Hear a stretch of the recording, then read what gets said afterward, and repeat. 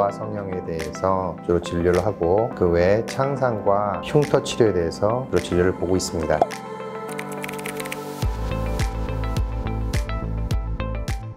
항노화 성형이라는 것은 말 그대로 노화되는 과정을 성형외과적인 방법으로 치료하고 돌려놓고 하는 그런 수술이라고 생각할 수 있습니다. 그 중에서 가장 대표적인 것은 우리 얼굴 중에서 가장 많이 처진다고 볼 수 있는 눈이 있을 겁니다. 상안검, 하안검이라고 해서 윗눈꺼풀 아래 눈꺼풀이 처진 부분들을 해결하고 젊게 만들고 올리고 하는 수술이 가장 흔한 수술이라고 볼 수 있고 그 외에 얼굴 전체를 좀 젊게 만드는 만드는 그런 수술들을 주로 하고 있습니다.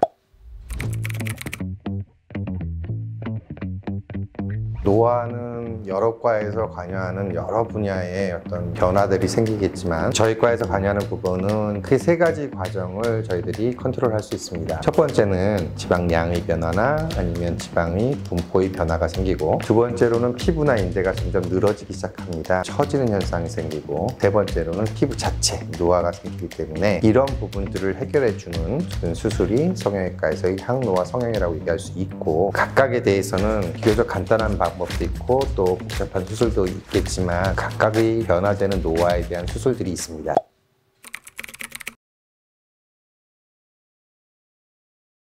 모든 수술이 그렇겠지만 특히 항노화 성형, 미용 성형에 있어서는 과도한 수술을 원하거나 시행을 할 경우에는 굉장히 어색한 표정이나 어색한 얼굴이 되기 때문에 오히려 좋지 않은 결과를 유발할 수도 있고 그리고 또 많은 수술로 인한 부작용, 피부가 안 좋아진다든가 괴사가 된다든가 하는 등의 문제가 생길 수 있습니다. 근래 그런 수술을 굉장히 많이 시행하기 때문에 그와 더불어 합병증의 문제나 어색한 그런 결과들이 나오는 사례들이 굉장히 많이 늘 늘고 있습니다. 그래서 그런 것들을 지향하지 않는 방법들로 수술하는 것이 가장 중요하다고 생각합니다.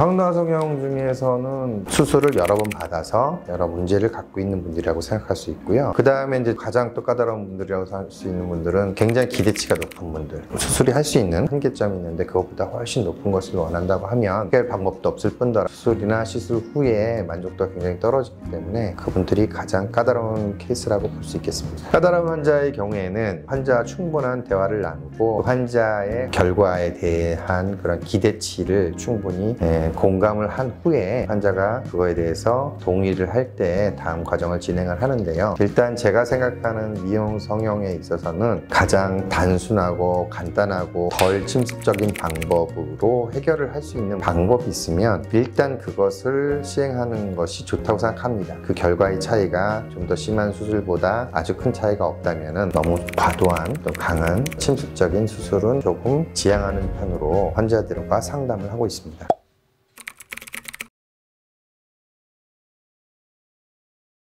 수술 후 관리는 수술마다 물론 틀리겠지만 중요한 거는 영양 상태와 특히 또 피부에 있어서는 그 수면 관리가 굉장히 중요하거든요. 그래서 그런 관리들 잘 하도록 말씀을 드리고 그리고 비타민 섭취 같은 게 또 노화의 과정에서 굉장히 중요한 역할을 합니다. 그래서 특히 우리 몸에 쌓이는 불순물들을 제거할 수 있는 비타민 C나 비타민 B나 그런 것들이 사용도 권유하는 경우가 있고요. 그런 관리가 동반이 될 때는 노화의 과정을 어느 정도 늦출 수 있고 피부 상태도 어느 정도 유지할 수 있기 때문에 그런 방법들을 많이 얘기를 나누고 정보를 나누고 있습니다.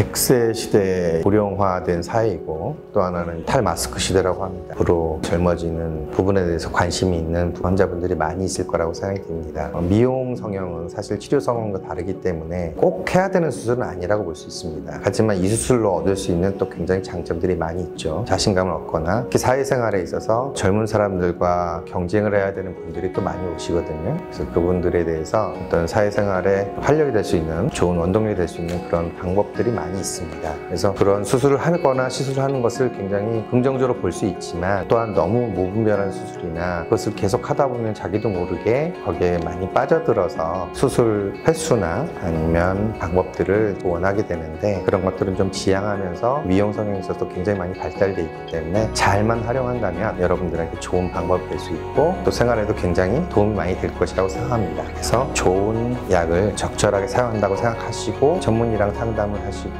수술을 하는 것을 권해드리겠습니다.